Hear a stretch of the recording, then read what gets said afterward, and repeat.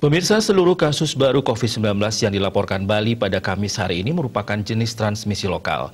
Ini merupakan hari ketiga Bali melaporkan puluhan kasus yang seluruhnya berjenis transmisi lokal.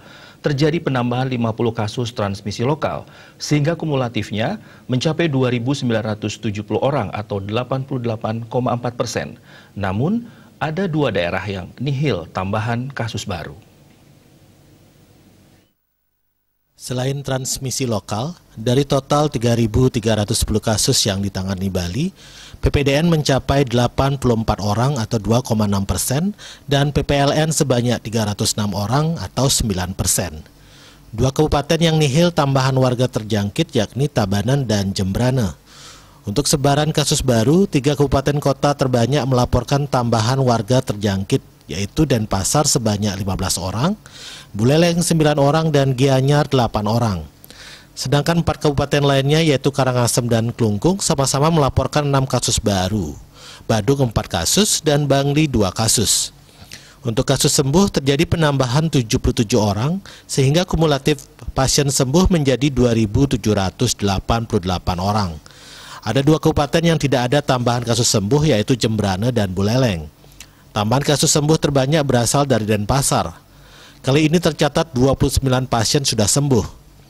Di posisi selanjutnya adalah Klungkung dengan 13 orang sembuh, Gianyar 10 orang, Badung 8 orang, Bangli dan Karangasem sama-sama melaporkan 4 kasus sembuh, dan Tabanan 1 orang. Sisanya sebanyak 6 pasien sembuh berasal dari kabupaten lain dan 2 WNA. Kasus aktif masih terdapat 524 orang, Tiga besar kabupaten kota yang masih tinggi kasus aktifnya adalah Denpasar 188 orang, Badung 86 orang, dan Gianyar 71 orang.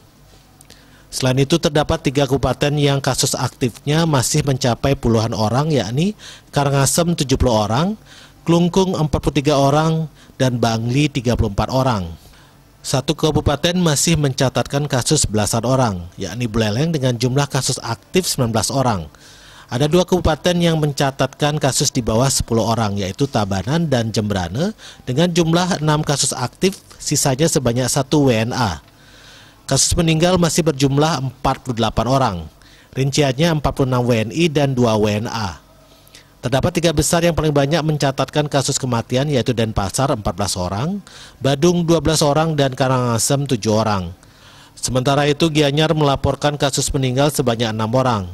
Selain itu ada tiga kabupaten yang sama-sama mencatatkan dua warganya meninggal karena COVID-19 yaitu Tabanan, Buleleng, dan Bangli. Sedangkan Klungkung mencatatkan satu orang meninggal. Dia Dewi Bali Pos melaporkan.